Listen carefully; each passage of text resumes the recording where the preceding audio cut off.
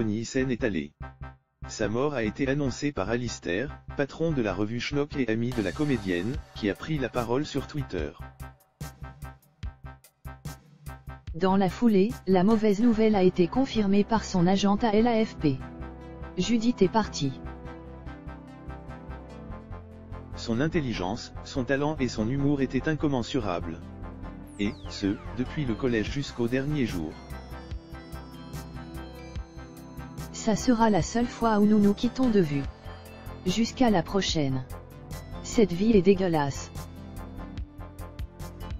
On le savait, a écrit Alistair sur Twitter.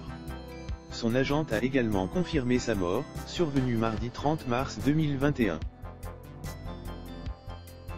L'actrice, scénariste et comédienne, mère de deux enfants, se battait depuis un AN avec un cancer, a ajouté son agente Nora Habib.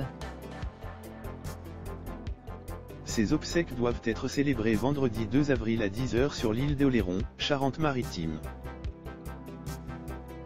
Entre 2007 et 2016, Judith Sibony a enchaîné cinq saisons de Vous les femmes, une série de pastilles humoristiques coécrites avec son amie d'enfance Olivia Cote.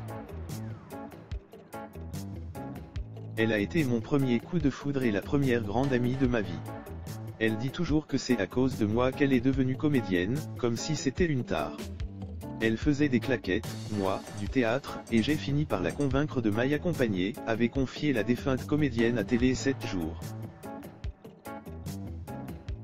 De son côté, Olivia ajoutait, lors d'un voyage linguistique en Grèce, on s'est croisés dans un couloir, on portait le même mot.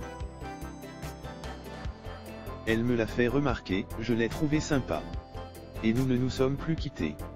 L'an dernier, pour M6, Judith Sibony jouait le rôle de Fleur dans la comédie familiale Les copains d'abord.